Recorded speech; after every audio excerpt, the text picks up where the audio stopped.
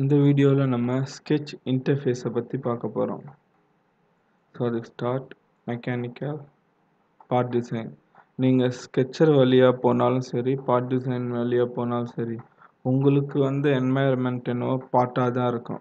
So நீங்கள் part மூலமாக தான் ஸ்கெட்சருக்குள்ளே போக முடியும். ஸோ அதுக்கு நீங்கள் டைரெக்டாக பார்ட் டிசைன் கிளிக் பண்ணாலும் சரி ஸ்கெட்சுன்னு கிளிக் பண்ணாலும் சரி.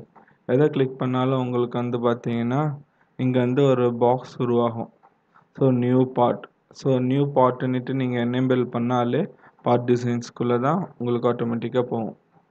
ஸோ நான் ஸ்கெட்சுன்னு கொடுத்தாலும் பார்ட் டிசைனுக்குள்ளே தான் போவோம் ஸோ இதை பொறுத்த வரைக்கும் பார்த்தீங்கன்னா enable hybrid design create geometrical set so இதோட டீட்டெயில்ட வந்து பார்த்தீங்கன்னா நம்ம வந்து ஒவ்வொரு வீடியோலையும் பார்க்கும்போது இது எதுக்கு யூஸ் பண்ணுறேன்னுட்டு நான் வந்து ஃபர்தராக வர வீடியோஸ்லலாம் வந்து இது எதுவுமே எக்ஸ்பிளைன் பண்ணுறேன் உங்களுக்கு. இப்போ வந்து பார்த்தீங்கன்னா ரெண்டுத்தையும் டீசெலக்ட் பண்ணிவிட்டு ஓகே நான் கொடுக்குறேன். ஸோ ஓகேன்னு கொடுத்தோன்னே எனக்கு பார்ட் என்வாயர்மெண்ட் வந்துடுச்சு ஸோ இது எப்படி எனக்கு பார்ட் என்வாயர்மெண்ட்டுன்னு தெரியும்னா இங்கே இருக்க இந்த லோகோ ஸோ பார்ட் டிசைனுக்கு வந்து பார்த்தீங்கன்னா இந்த சைடில் இப்படி வரும். ஸோ ஏதாச்சும் ஒரு பிளேனை நான் கிளிக் பண்ணிவிட்டு இது பண்ணோன்னா ஆட்டோமேட்டிக்காக ஸ்கெட்ச் போயிடும். ஸோ இதுதான் ஸ்கெட்சுக்கு வழியாக போகிறதுக்கும் பார்ட் டிசைன் வழியாக போகிறதுக்கு வித்தியாசம். ஸ்கெட்ச் வழியாக போனால் நம்ம டேரெக்டாக ஏதாச்சும் ஒரு பிளேன் கிளிக் பண்ணோன்னா ஸ்கெட்ச் ஓப்பன் ஆகிடும் பார்ட் டிசைன் வழியாக போனோன்னா வந்து பார்த்திங்கன்னா நம்ம ஸ்கெட்சை செலக்ட் பண்ணிவிட்டு போகிற மாதிரி இருக்கும். ஸோ இதுதான் வித்தியாசம். ஸோ இந்த இன்டர்ஃபேஸ் பார்த்தீங்கன்னா நிறைய டூல்ஸோடு வரும்.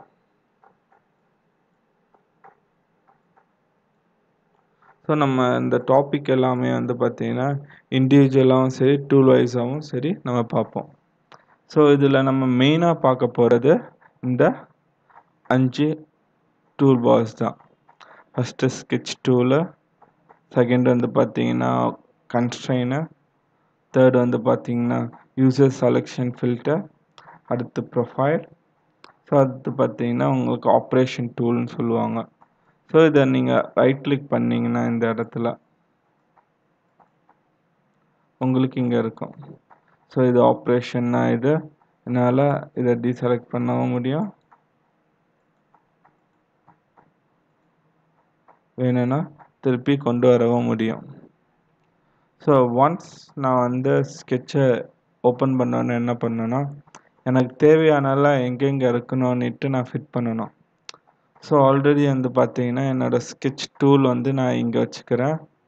என்னோட யூசர் ஃபில்டரையும் நான் இந்த இடத்துல வச்சுப்பேன். இல்லைன்னா யூசர் ஃபில்டரை நான் லாஸ்டில் வச்சுப்பேன். அடுத்து வந்து பார்த்தீங்கன்னா ப்ரொஃபைல் ஸோ ப்ரொஃபைலில் நான் வந்து எதுக்கு நான் இந்த மாதிரி செட் பண்ணுறேன்னா உதாரணத்துக்கு நான் ஒரு லைனை சூஸ் பண்ணுறேன்னு வச்சுக்கோங்களேன். என்னோட ஸ்கெட்ச் டூல் ஆப்ஷன் இந்த மாதிரி வரும். நான் இவ்வளோ ஸ்பேஸ் விடாமல் நான் அதை எங்கேயாச்சும் மூலையில் வச்சுருந்தேன்னா இது வந்து மறைஞ்சிடும்.